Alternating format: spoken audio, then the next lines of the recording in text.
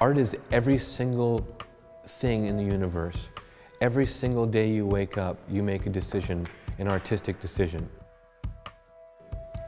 From what shoes you wear, what clothes you wear, to what car you drive, what kind of coffee, what kind of branding. Every single aspect of every single person's life relies upon art in some respect.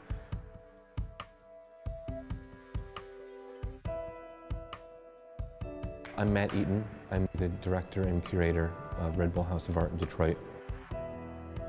You're taking someone who stereotypically uh, is seen as a starving, less fortunate person, choosing a career as an artist and giving them the help and support they need to elevate their circumstances, um, their environment, their uh, process, everything, and um, getting them to a point where they are confident in what they're doing and have the resources available to them to execute on a grand scale. The mission here obviously is to give people wings. It's absolutely not a matter of finding the coolest artists. It's a matter of finding the most passionate artists with the most to lose if they take any risks and giving them an opportunity to really take risks it's interesting because this has been like an incredibly transformative three months for me. When I was in school, it was all assignment based. So I was making projects based on a prompt. And when I do client work, it's always, you know, somebody else's idea. And here I was given this like beautiful and horribly daunting and wonderful gift where they said, make whatever you want. And so I spent a lot of time like really going inward and thinking like, okay, what is it that I actually do want to make? For the longest time, I wasn't really considering it work. I always made my living as a creative in one way or another. I started making the ray guns as a hobby, but it never really occurred to me to expand beyond that until Matt asked me to be in the House of Art.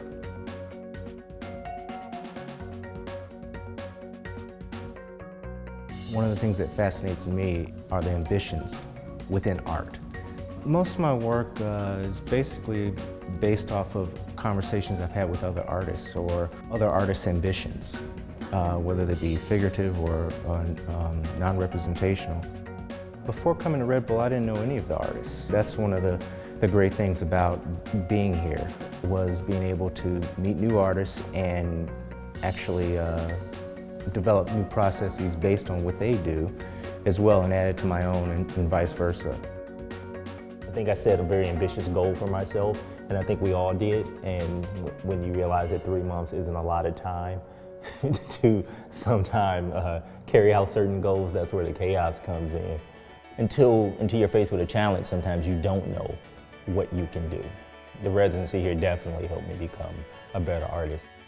Especially now, I know what I'm capable of doing. I always try to get people to look at everyday objects with a little bit more interest than they usually do. I like to get people to look at things more and look at their life as a composition.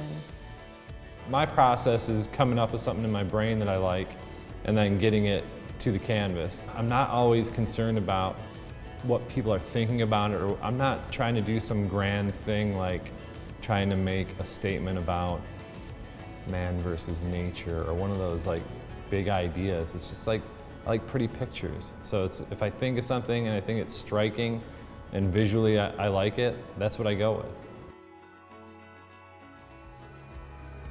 Ultimately, the, the goal is to continue to help and support local artists and leave a legacy of inspiration for um, every other creative person in the city of Detroit. We're never going to be automotive capital of the world. It's never going to be Motown again. It always will be but we need to create a different future for Detroit. And hopefully it's one that's just full of art and music and poetry and dance and everything. That would, I would love that anyway.